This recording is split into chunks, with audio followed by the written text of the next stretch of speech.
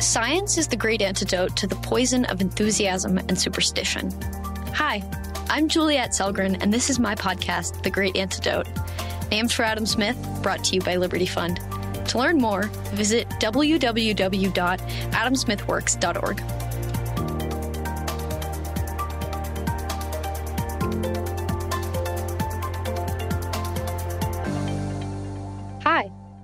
Great Antidote is on a break from recording new episodes currently.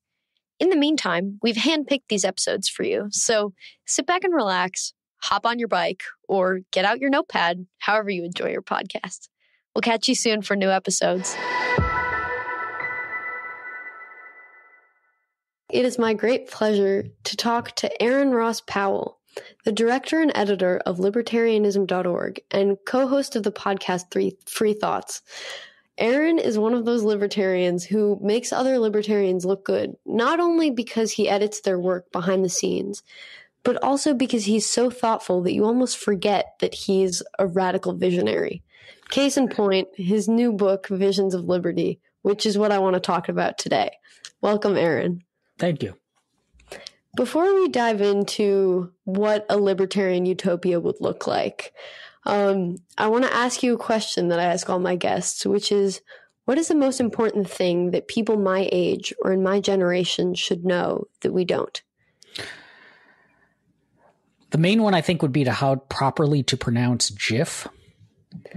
Uh, I don't know how to do that. It's it's not it's not GIF as lots of young people say, but it is GIF, uh, as as specified by the creator of the image format. So that's that's the main thing that bugs me about young people. Um, but but on the less pedantic things, um, I think I was trying to think back to like when I was in high school and in college, and and like what I wished I knew then. Um, and there are, I mean, there are lots of like little things, but for me, I think the big thing is to more thoroughly question certainty that that when we're young we have a tendency to deeply deeply embrace our ideas and with a degree of confidence that is i think often unwarranted um, mm-hmm. and and then as you look back you as our ideas change over time um, we we learn that a lot of that confidence you know maybe maybe we were overconfident in our ideas. And i think that there's there's a lot of value in being confident in your ideas and there's a lot of value in being very passionate about them. Um, and i don't want to i don't want to knock that and that's like a laudable thing. But but i see a lot of young people i see a lot of young libertarians i see a lot of non-libertarian young people um, who are so certain of the ideas that they believe right now that they are unnecessarily dismissive of other ideas or unwilling to take the time to really explore those other and opposing ideas. And and i think it sets back intellectual development. Um so so that would be the main thing. Like i i think i wish that when i talk to young people that you be passionate about your ideas but be less confident about them or more willing to entertain ideas that run counter to your own. Yeah, I think that's that's really good. I mean, more and more as I do this podcast, I kind of realize how little it is I know about even the things that I fundamentally think I agree with. And even like little things where I just have no like stuff you don't think about or you just I don't know. But it's even like in talking to other people, I'm like, have you ever thought about this? And they're like, no, because I know what I know is right. And I'm like, hmm, let's, let's, let's all think about this other idea and kind of trying to, I don't know, devil's advocate type stuff just to see how much people think about what they're saying, what they're advocating for, and kind of trying to see if, like, maybe maybe if you like come at it from a different angle some other viewpoint makes more sense and kind of i mean that's part of the reason why i did this podcast was to try to introduce new viewpoints to people my age So, yeah, I like your answer. Yeah, um, and I um, think I think too. There's, um, there's like an inner like personal side to it, which is, you know, you want to be able to explore, like you just said, you want to be able to explore other ideas because it might turn out that those other ideas are better than the ones that you hold or that they add nuance to the ones that you hold um, or that you just you learn something that you didn't before. But i think there's also a an external and social element to this that a lot of the problems we see in the country right now are to a great extent the, the result of people being so certain of their own ideas and worldviews that they they believe that there's something fundamentally wrong with people who don't hold them.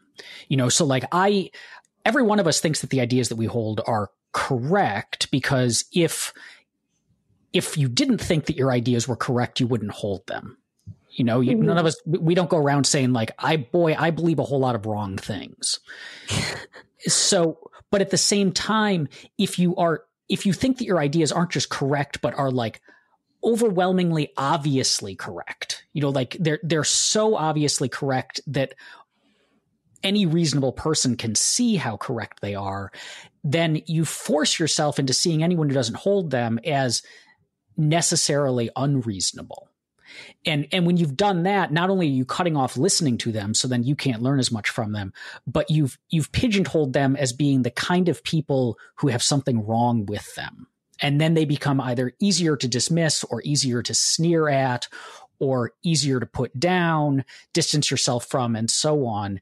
And and that that increases the the camp based thinking and the tribalism that we see. So I think it's it's both like you want to learn from other ideas, but you also want to appreciate that other people can have reasonable reasons for believing ideas that you don't necessarily think are correct. And so they can disagreement can be reasonable as opposed to kind of always seeing disagreement as unreasonable.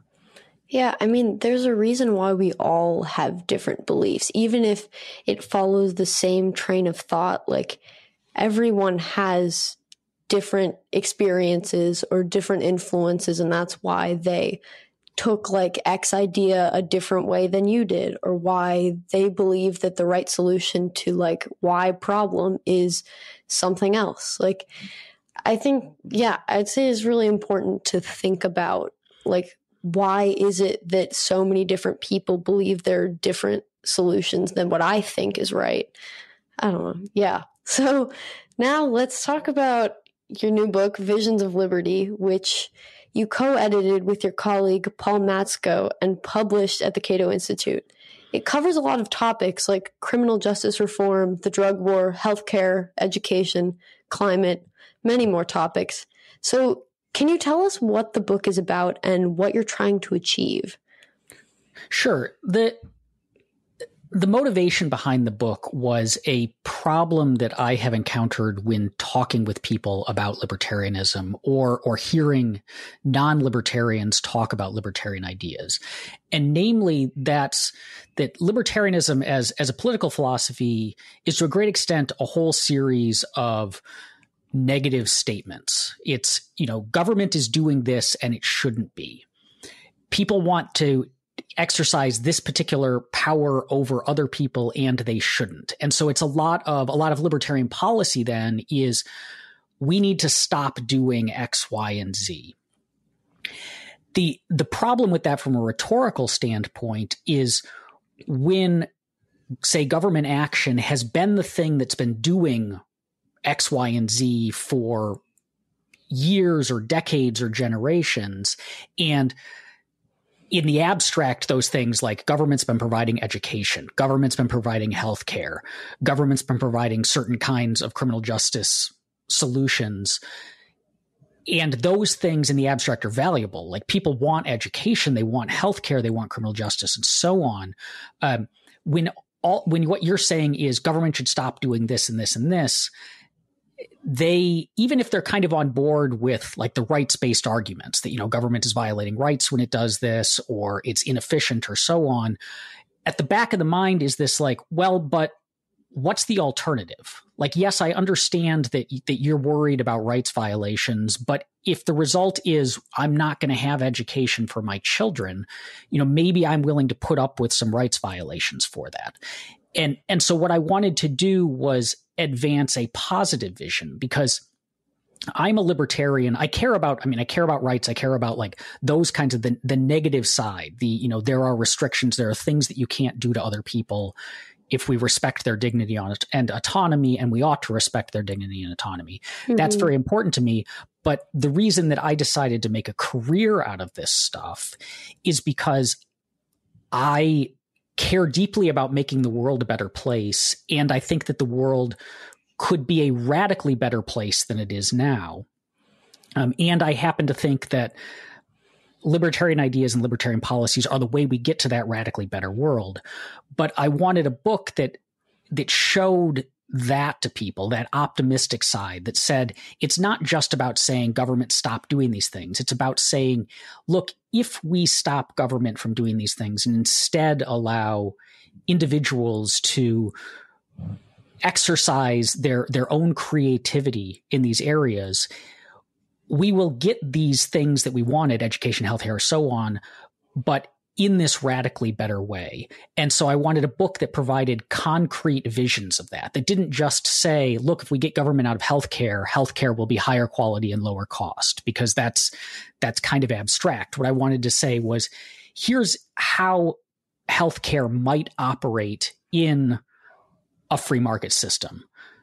And and it's the picture that we're painting isn't just like a better way to do healthcare, but it's an inspiring vision of how good healthcare could be. So that was the goal with the book is to is to bring together what I hope are inspiring visions of what a libertarian world might look like in order to get people thinking like that's the kind of world that's worth pursuing. And it's it's different from a lot of policy books or even just policy papers or essays, you get completely like transported into a different place, like a new future America. It's I I really liked it. I don't know.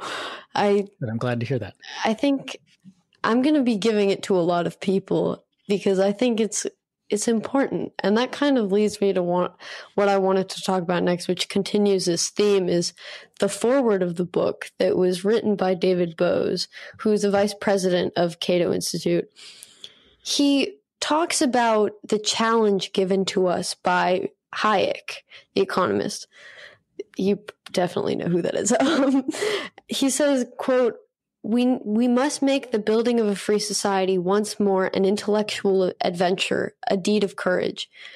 What we lack is a liberal utopia, a program which neither seems a mere defense of things as they are, nor a diluted kind of socialism, but a truly liberal radicalism which does not spare the susceptibilities of the mighty, which is not too severely practical, which does not confine itself to what appears today as politically possible, end quote. And in this book, I feel like you've taken on Hayek's challenge. So, I mean, at least I kind of see it as like a first step towards kind of opening people's minds to see what is possible. So I don't know. Do you view it as a first step? And then if you see it as a first step or if you don't, like what what next?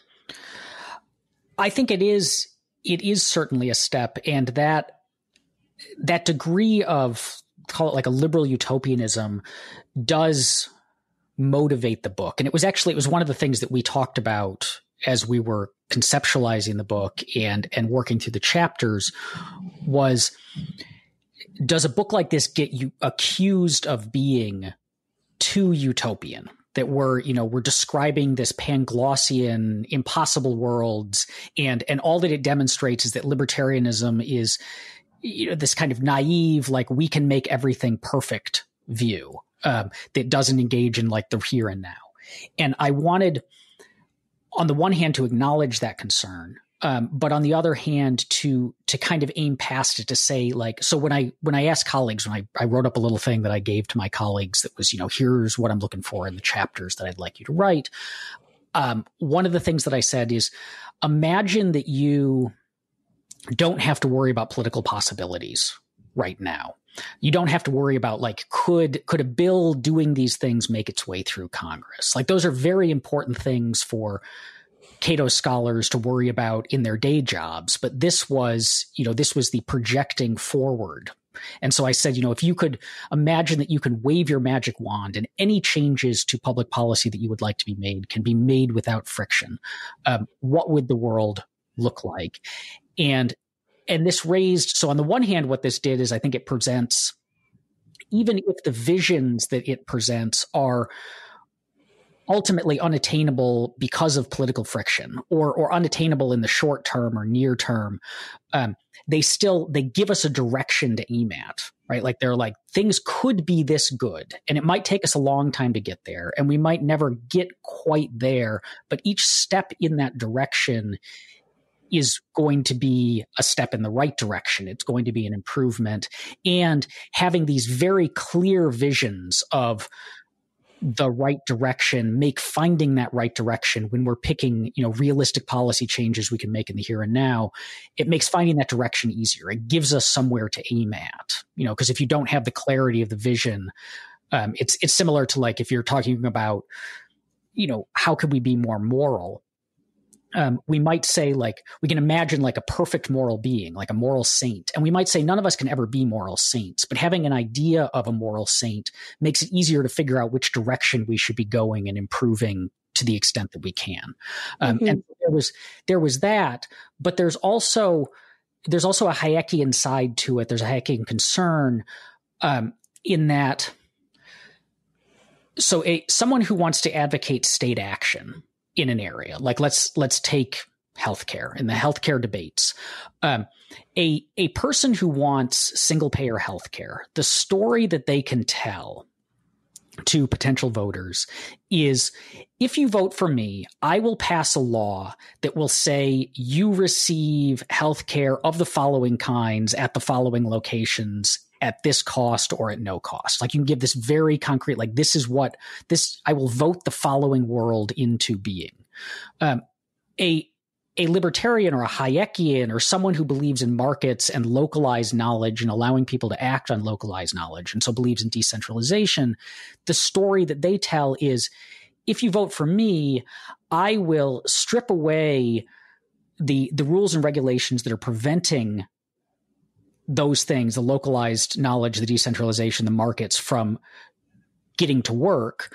Um, and they will come up with solutions that will be better. But I can't, I can't tell you what those solutions, like exactly what those solutions will look like with any, with like a high degree of certainty, because if I could, like, I would be rich right? Like that's what that's the role of entrepreneurs is to figure out things that like I don't know and you don't know, and no one knew until they tried it.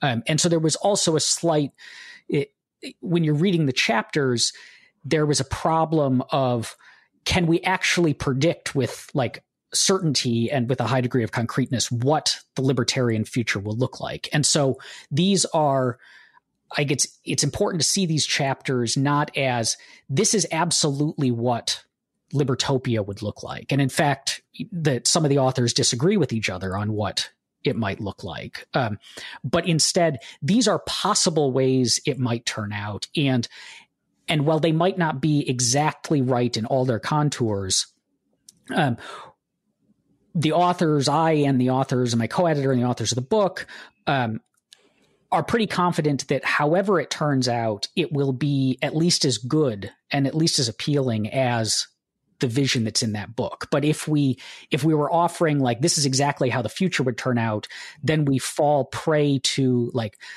the planner's conceit that Hayek is pushing so hard against.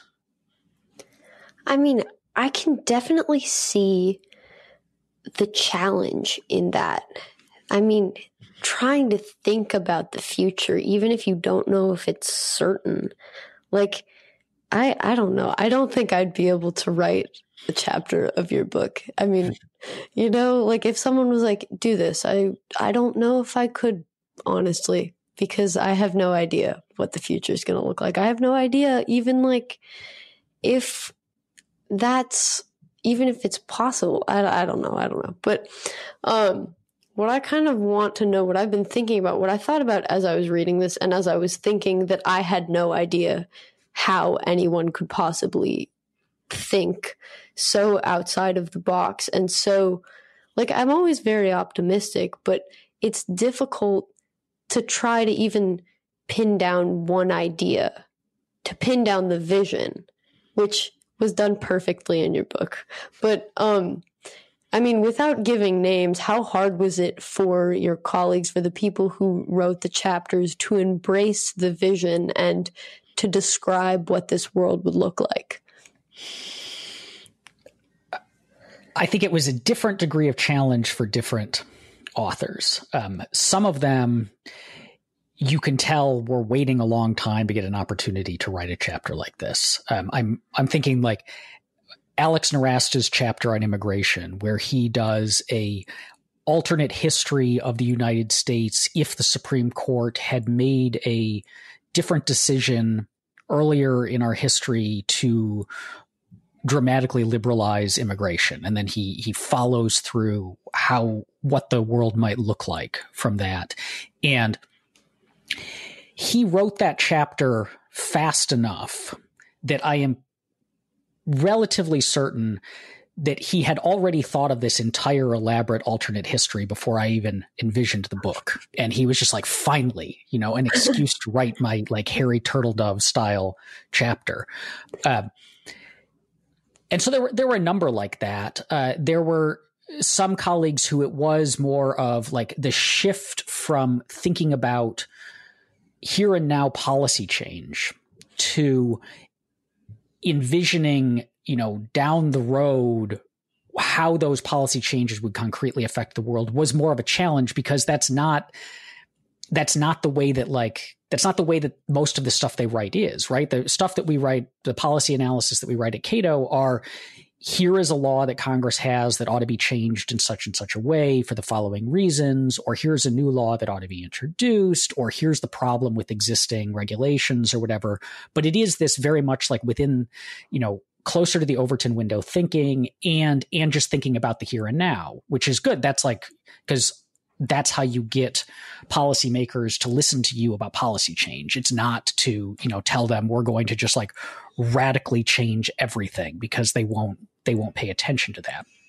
And so for some of my colleagues, it was it was harder to get into the mindset of, you know, having that magic wand and and kind of picturing the perfect world. I think too, some of the areas are easier to write that sort of thing, or at least to give like a a kind of fun sci-fi scenario than others. Um, so, you know, some of the technology chapters, it's like, well, these lend themselves very much to, you know, here's emerging tech and we can see the emerging tech. And now let's imagine the world if we ran with that. Like if the barriers, the regulatory barriers to its widespread advancement and use were abandoned, we can come up with, you know, cool scenarios of what that might look like. Others, it's like, you know, the government's doing this stuff and we would have if we stopped if it stopped doing the bad stuff we'd have just we'd have more of what we've already got.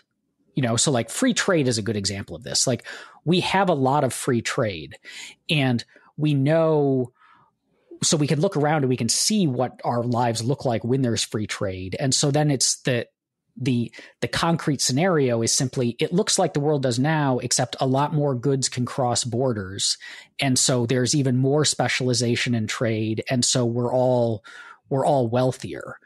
Um, so i think those were those are the kind of axes around which some chapters were easier or more difficult was how much they lend themselves to this speculative scenario making and then also just how much the individual authors were able to step outside of the you know immediate policy recommendations that that's our bread and butter.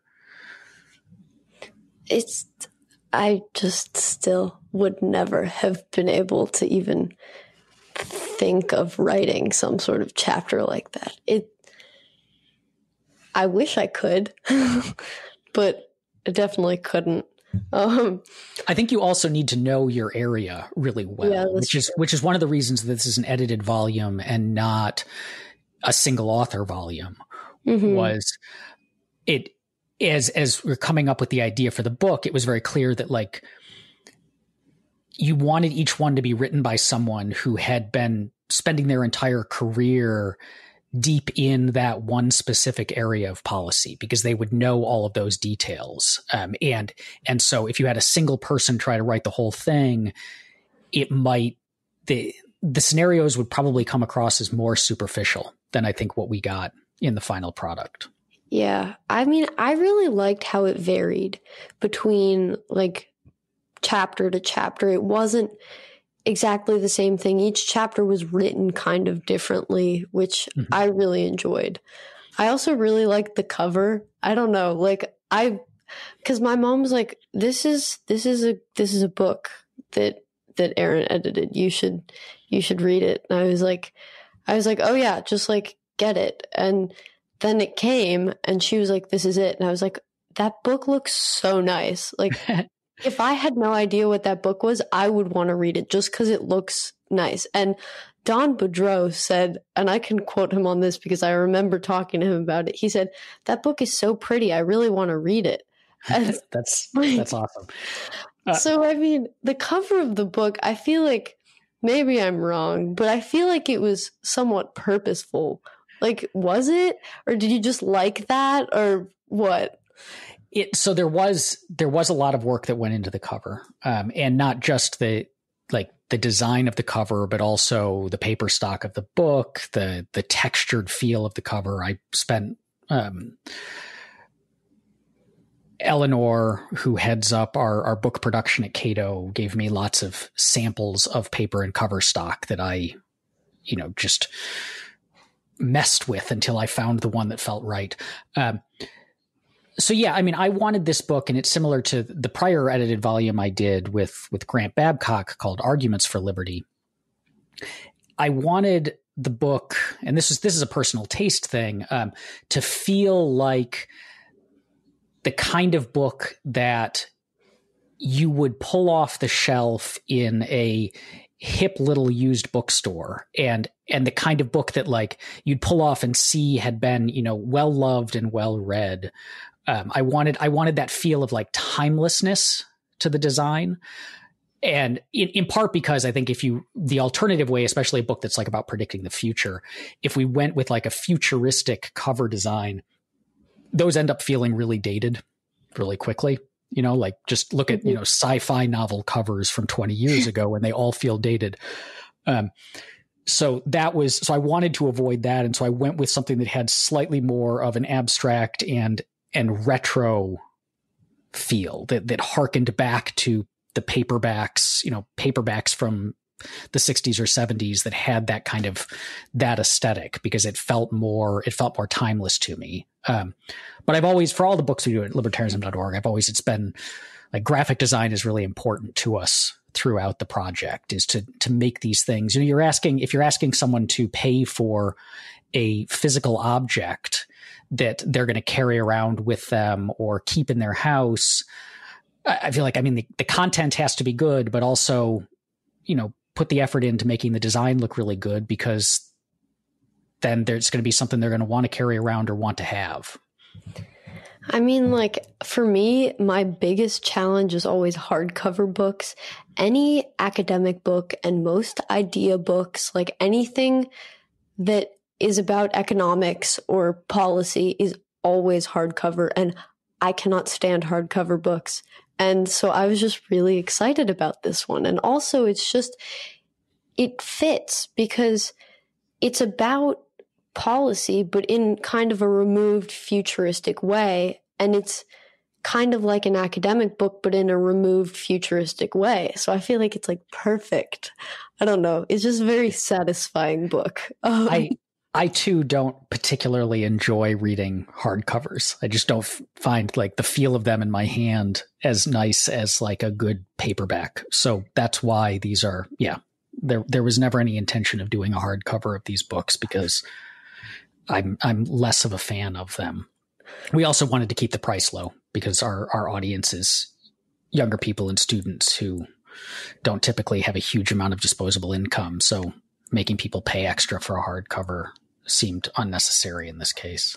I mean, I can definitely just tell you that that is 100% right. Like every time I go to the bookstore, I always, if it's a hardcover, I don't care if I want to read the book. I will choose a book that is cheaper that I only kind of want to read because I don't, I don't have that much money. Like I'm, I'm 17. I'm not going to be paying like $30 for a mm-hmm. hardcover mm. book. Like, you know, I, you got it right on the mark there.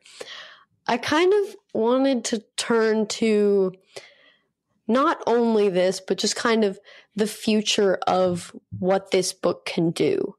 I mean, so I was reading, uh, well, I read the whole thing, but I kept rereading Clark Neily's chapter because it's especially relevant right now because it's just like the timing is right of when this book came into my life. Like people are using this moment to try to find a way to change the criminal justice system. And even though that's really difficult because all the incentives are lined up to maintain the status quo, he writes about, he uses the magic wand, right? He uses that to talk about what it would look like, to create a vision for what it would look like if it was not that way. And I think people, in their attempts to make change, everyone has a different idea and kind of it's scattered attempts to, to make change, but no one really, while there's like a general goal, there's no specific vision for what we want out of this movement, right?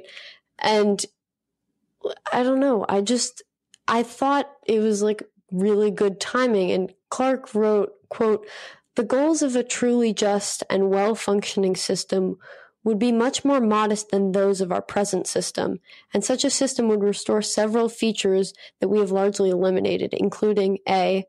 Robust protection for substantive and procedural rights, B. Strong accountability for those charged with enforcing the laws, and C. High levels of citizen participation in the administration of criminal justice, end quote which is what people seem to want, but it's like the attempts to get there seem kind of scattered because I don't think anyone has come together and like put two and two together and decided that like we need this to get to that point or like tried to kind of go backwards. This is what we want. How do we get there? In like a specific way. I don't know. I mean, I know some people have, but like it just seems like looking on social media, people are kind of all over the place. So, can you talk about how like this book could be an agent of change and kind of uniting people in a similar vision?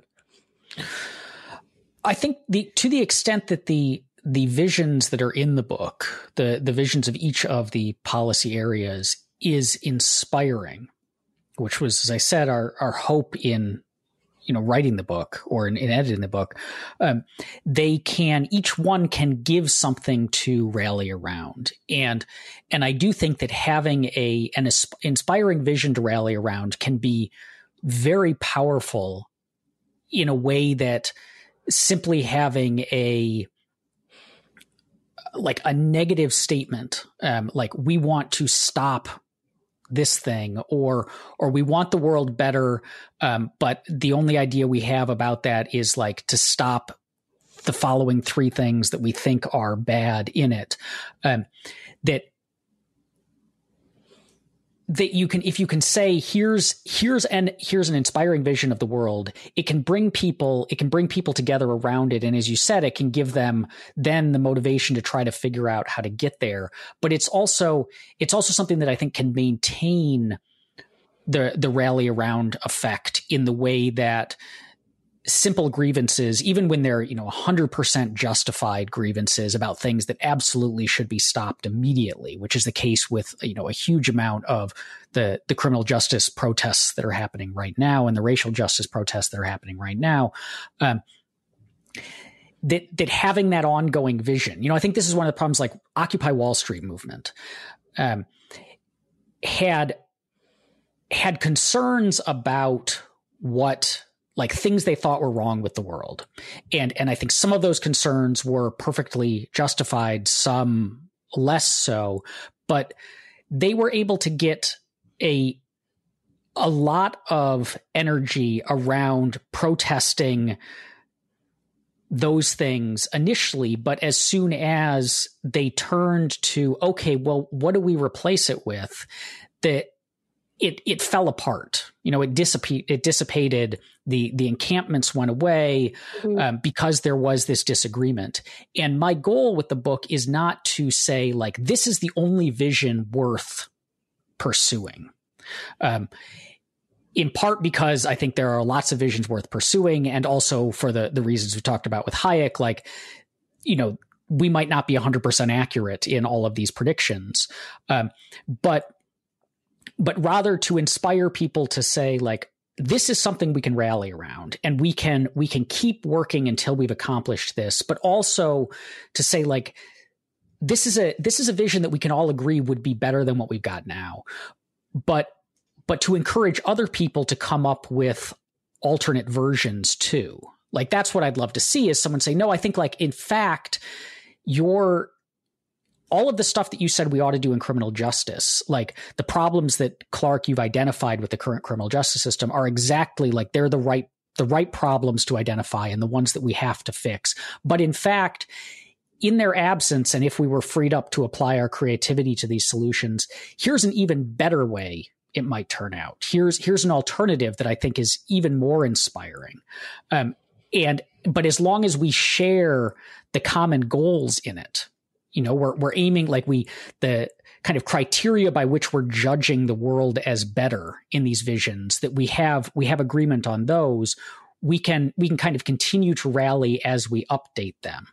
Um, but i do think as you said i do think having having this concrete vision and saying to someone you know because if you if you say the world's pretty bad right now in in all of these ways um, but and my you know and we're going to complain about it and we're going to try to stop some of the bad stuff. I think that that that doesn't hook as many people or there are lots of people who won't be hooked by that who would instead be really hooked by or motivated by like here it is here's what we think the world could be like. Are you with us in trying to figure out how to make this happen. Um, and and so I think Clark's chapter is is a good example of that because it on the one hand it does identify very clearly the real problems we have in the criminal justice system right now, and and says these are the things that like we absolutely must change. But at the same time, it it answers that question of look if we get rid of all these things like yes police misconduct might be bad and yes police violence but like if we got rid of all of that how would we have a criminal justice system? It also answers that question it says here's the humane and just criminal justice system we could have instead. Are you with me on this? And and i believe i certainly hope but i believe that a lot of people who read this book even if they're not you know don't think of themselves as libertarians will see maybe not all of the visions in this, but you know, at least a number of them will really speak to them and say, yes, that's exactly the kind of world that I would like to achieve. I'd like to figure out how to get us there. I'm kind of curious about this. Do you have a favorite chapter or passage in the book? That's a hard question to answer without, you know, I love them all, and all of my colleagues are great and turned in fantastic chapters. Um, but I think the ones that I enjoy the most, and this is just a taste thing, mm-hmm. are the ones that played the most with the format. Um, that so I I really like um, I like Alex's a lot because it is this fun alternate history that is is very detailed and is just interesting in and of itself even if you're not you know not particularly interested in like libertarianism or public policy or whatever. It's a fun alternate history. Similarly, uh, my colleague Trevor Burrus, his chapter on the war on drugs, takes kind of a similar approach. It's not an alternate history, but it is it's a, a attempt to map out what the coming decades might look like if we abandoned the war on drugs and and does it in this this very speculative like describing future scenario sort of way which makes it again a lot of fun, or uh, my colleague Will Duffield's chapter, which tries to describe, you know, in a in a world where technology allowed for really robust freedom of digital expression. What would a typical, you know, what might a typical day look like? Um, those those are the ones that just from my, you know, kid who grew up reading a lot of science fiction tastes were were probably the most fun. Um, but but I think I think I mean all of the chapters like it's it's also just going to depend on if you have you know we cover we cover a lot of policy areas and people have the policy areas that matter most to them. Um, and so I think that the answer to you know which are the best chapters is going to vary too a lot based on like the ones that are on policy areas that matter most to you you're probably going to find the the most compelling. But yeah for me it was the ones that that took the the framework that Paul and I articulated for a chapter and really went with it in in their own direction. Yeah. I mean, I think there's something in this book for everyone because there's so much. There's so many chapters. There's even within the chapters there's so many like different parts. Like, I don't know. I think everyone can find something that they even partially agree with or that they could like maybe see as a possible future that they'd like in this book, which is so cool. So to wrap up, I wanted to ask you what is one thing that you believed at one time in your life that you later changed your position on and why? I've changed my position on a lot of things, um, lots of political issues, lots of economic issues. Um, but the one that I think, as as I was thinking back, trying to figure out the the answer I would give on this, um, the one that is the starkest in my mind is changing my view on religious faith.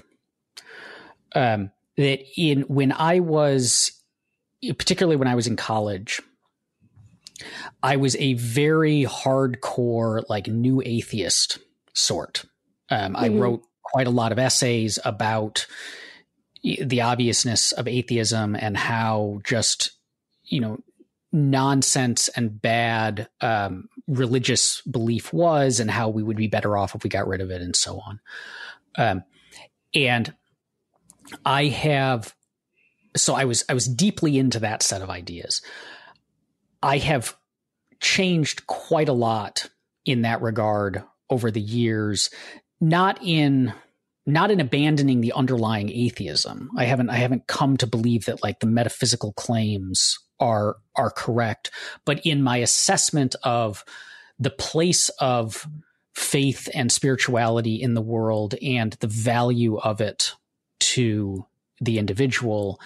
Um, and and this culminated in over the last you know four or five years ago kind of deciding that i was um, that i was going to start calling myself a buddhist and and embracing embracing that um, but i think that's the thing like I've changed my views on a lot of stuff, but that's the one where when I look back at it, I look back at what I used to believe and the way that I used to think about things um, to where I am now. There is there's the biggest contrast and the most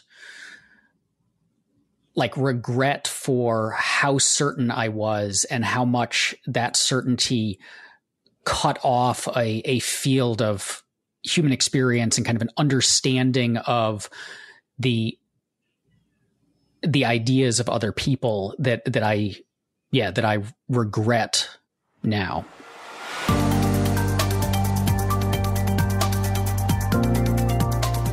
Once again, I'd like to thank my guests for their time and insight. I'd also like to thank you for listening to the Great Antidote podcast. It means a lot. The Great Antidote is sound engineered by Rich Goyette. If you have any questions, any guests, or topic recommendations, please feel free to reach out to me at greatantidote at libertyfund.org. Thank you.